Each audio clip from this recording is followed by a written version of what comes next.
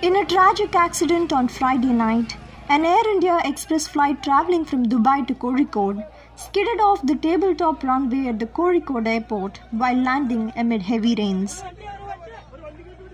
18 people, including two pilots, Captain Deepak Sathe and his co-pilot Akhilesh Kumar, lost their lives in the unfortunate mishap. Tabletop runways are located on the top of a hill. Landing on a tabletop runway requires high expertise as one or both ends of the runway are adjacent to a slope which leads to a gorge.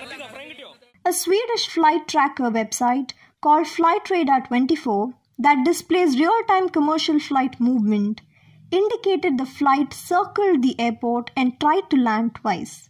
तो pilot बहुत कोशिश कर रही है नीचे उतरने का बारिश का मौसम में क्लाउड ज़्यादा है उसको मौसम बराबर पे- अभी शाम को करीब सा, सात साढ़े सात बजे था।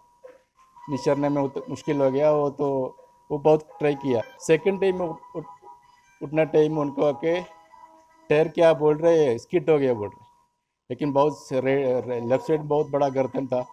बोल रहे थर्टी सिक्स फीट का ऊपर था गर्दन। उसी में सडन ब्रेक हो गया सब लोग बेल्ट पहनता था। सब लोग हम लोग क्या क्या कर दिया सामने का इस सीट में हाथ दे के उसमें हम सेल्फ बचाने की कोशिश किया अभी क्या गर्दन में चला गया फ्रेट आधा हो गया ओपन हो गया The flight was part of the Vande Bharat repatriation mission and most passengers were returning from UAE. Rescue operations were completed last night and the injured were sent to hospitals in Malappuram and Kozhikode. For the first time, the air crash will be investigated by the Aircraft Accident Investigation Bureau.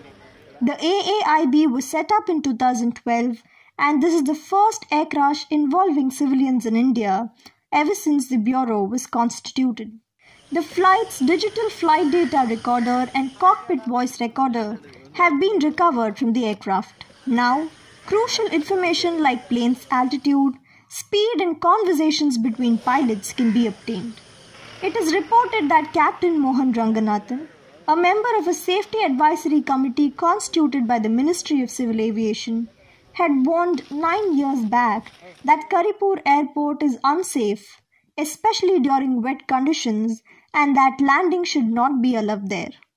This is not the first of its kind mishap.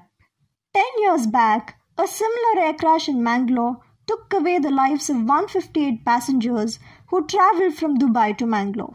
That accident took place on 22nd May 2010 and that too involved a Boeing 737 800.